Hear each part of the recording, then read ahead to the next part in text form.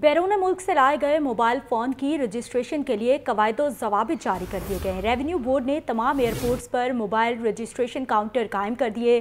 راہل سید سے جانتے ہیں۔ راہل سید، بتائیے گا، مسافر کیسے اپنے موبائل رجسٹرڈ کروا سکیں گے؟ جی اب یہ نکالا ہے کسٹم کام کی جانب سے جو بھی مسافر ان رجسٹر موبائل فون لے کر آئے گا، باہر سے، وہ سب سے پہلے جو کاؤنٹر بنایا گیا لاہور ایئرپورٹ پہ کسٹمر سروس سینٹر وہاں پر وہ اپنا موبائل فون جمع کروائے گا اور اس کی رسید لے گا۔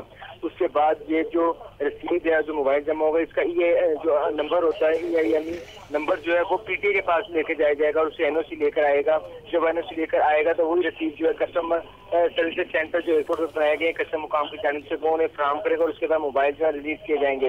یہ موبائل جتنے بھی آئیں گے، جو مسافر لے کے آتے ہیں، ایک یا دو، زیادہ شدہ میں جو موبائل فون آئیں گے، وہ ضبط کر لیے جائیں گے۔ صرف وہ موبائل فون جو مسافر اپنے استعمال کے لیے لے کر آئیں گے، اسے انہیں کو رجسٹر کیا جائے گا اور اس حوالے سے جو ہے، لاہور ایئرپورٹ سمیت پنجاب میں جتنے بھی ایئرپورٹ ہیں، وہاں پر کسٹمر سروسز سینٹر بنا دیے گئے مسافروں کی سہولت لیے تاکہ وہ اپنا جو بھی موبائل فون لائیں گے، وہاں اس کو جمع کروا دیا جائے گا اور رسید لینے کے بعد پی ٹی اے سے اس کی رجسٹریشن کروائی جائے گی اور پھر ان کو موبائل فون دیا جائے گا۔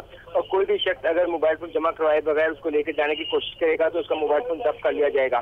اس حوالے سے مفصل جو رپورٹ ہے، جو قواعد و ضوابط ہیں، وہ جاری کر دیے گئے ہیں۔ کسٹم کام کی جانب سے اور کلیکٹر کسٹم ناصر جمی نے تمام ایئرپورٹ پہ جو ہے نوٹیفکیشن جاری کر دیا گیا ہے کہ جتنے بھی موبائل فون آئیں گے ان رجسٹرڈ ان کو رجسٹر کس طرح کیا جائے گا اور کہاں شکریہ راہل سید آپ کا۔